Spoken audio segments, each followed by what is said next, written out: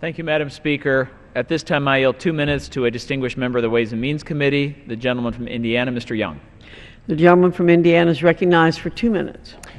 Mr. Speaker, I rise in support of the Full Faith and Credit Act. Now, much has been said about how ridiculous it is that we find ourselves going through this debt limit routine so darn often.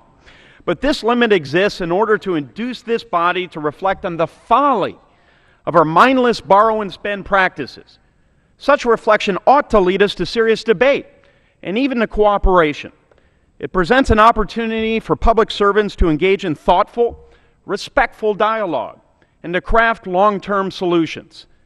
Now, as we approach the limit for the third time in my two and a half years here, we have an opportunity to work together and finally make our largest programs of government sustainable.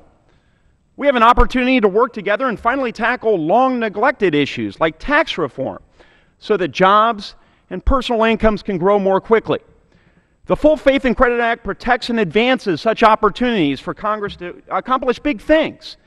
And it does this simply by removing the specter of default from the table altogether.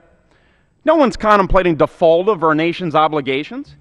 Americans will always and forever pay our bills, and the Full Faith and Credit Act makes this crystal clear by making default impossible. Our support for this act simply cannot and should not be regarded as ideological or partisan.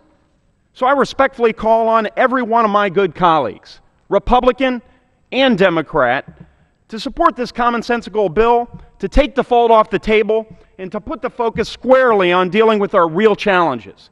Let's harness this opportunity of an approaching borrowing limit to come together as problem solvers. I yield back. Gentleman from Indiana yields back.